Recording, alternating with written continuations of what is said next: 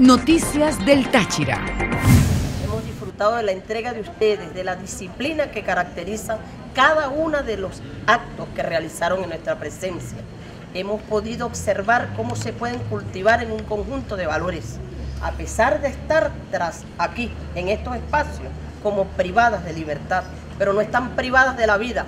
Y eso están ustedes viviendo, muchachas, en el disfrute de qué significa un ser humano con toda su potencialidad, con la posibilidad de realizarse, de autorrealizarse y además de prepararse para lo que puede venir en el porvenir.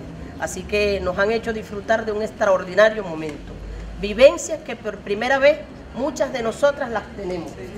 Me encantaría que todo el que tuvo la oportunidad, más allá del personal del servicio penitenciario, de este ministerio, pero las que aquí estamos por primera vez, las que nunca habían ido a un penal, no es mi caso, he estado otras, he visto otros penales, pero estoy segura que aquí hoy transitó mucha gente que no había estado nunca en un penal.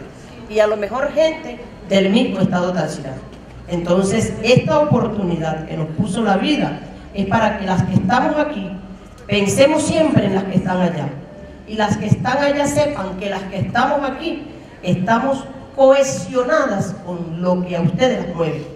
Y por eso hoy, desde el espacio de Martes de Mujer, que nos han hecho disfrutar de tanto de la expresión cultural, de la creación de las mujeres que están allí en esos espacios, que están cosiendo, que están haciendo morrales, cartucheras, adornos, juguetes, peluches, de las que están sembrando, que están, hagan conciencia de que están insertadas en la agenda económica bolivariana la construcción de la nueva economía, todo eso que vivimos aquí, vimos la panadería, vimos todo, en este espacio que nosotros llamamos Martes de Mujer. El presidente Nicolás Maduro quiso que todos los martes pusiéramos en escena todo lo que tiene que ver con las mujeres, las luchas de la revolución bolivariana por las mujeres, la institucionalidad de las mujeres. Aquí nosotras tenemos un programa que se llama Luisa Cáceres de Arismendi por medio de ese programa, en alianza con el Ministerio para el Servicio Penitenciario,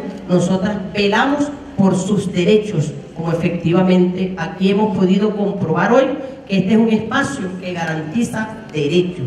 Más allá de la atención integral en salud, de todo lo que vimos, pero sobre todo garantiza el derecho a la formación y a la realización humana, que es una posibilidad que a lo mejor gente que no está en estos espacios privados de libertad no tienen la exquisitez del momento que nosotros hemos vivido con ustedes. Hay gente que no está privada y está preso en su propia vida, porque no está creando absolutamente nada, porque está perdiendo el tiempo, porque no está desarrollando sus potencialidades. Noticias del Táchira.